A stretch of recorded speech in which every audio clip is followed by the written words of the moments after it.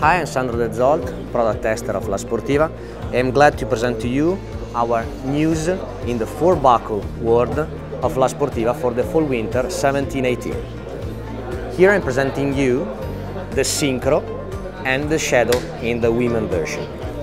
Synchro, it's our, our new four buckle boot, more dedicated for the free touring. We rework completely the bindings, give them a better user friendliness and make them more easy to use.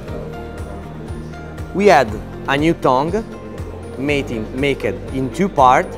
The central one of the double power tongue is carbon fiber reinforced and when it works with the rear part it's completely stiff for the descent.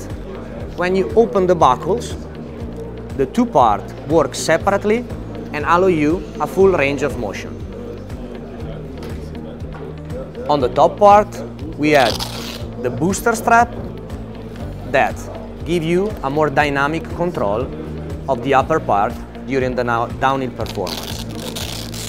Last, we add an overlap liner inside, fully thermoformable, that gives you more comfortable and more precision during the skis.